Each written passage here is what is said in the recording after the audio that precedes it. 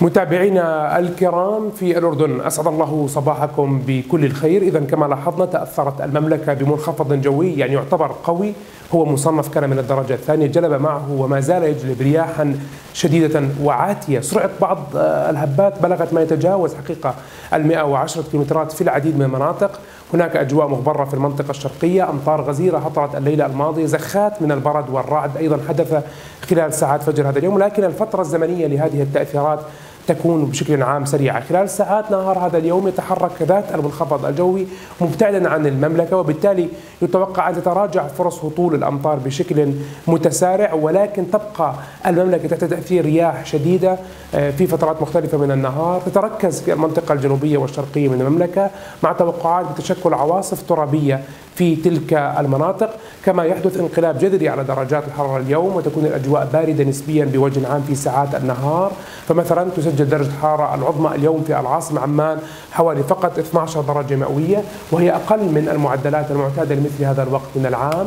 كما أيضا نتوقع تدني درجات الحرارة في ساعات الليلة القادمة بعدما تخف سرعة الرياح ويستقر الطقس تسود أجواء باردة وتكون شديدة البرودة في بعض مناطق البادية والسهول الشرقية وجبال الشراء والأجواء تستدعي يعني العودة إلى استخدام وسائل التدفئة كما تؤدي أيضا تدني درجات الحرارة في بعض المناطق مثل السهول الشرقية والبادية وجبال الشراء إلى تشكل الصقيع في تلك المناطق. أما درجات الحرارة العظمى المتوقعة اليوم والصغرى القادمة فهي على النحو التالي. في في كل من إربد وجرش من 13 إلى 8 في عجلون 12 إلى 7 في المفرق من 13 إلى 7 درجات مئوية مع رياح قوية. في العاصمة من 12 إلى 5 في الصلب 13 إلى 6 في الزرقاء 14 إلى 7 في مدبة من 12 إلى 7 وفي البحر الميت من 21 إلى 15 درجة مئوية. المناطق الجنوبية في الكرك 11 إلى 7 في الطفيلة 11 إلى 6 في معان 13 إلى 5 في جبال الشراء من 10 إلى 4 درجات مئوية.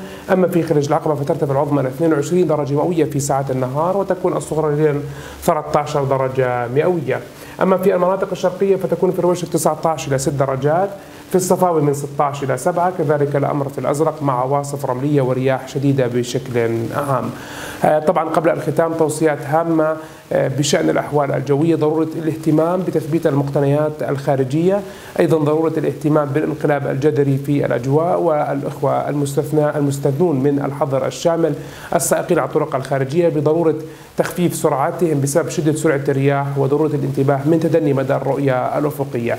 أتمنى لكم جميعا نهار سعيد أينما كنتم. إلى اللقاء.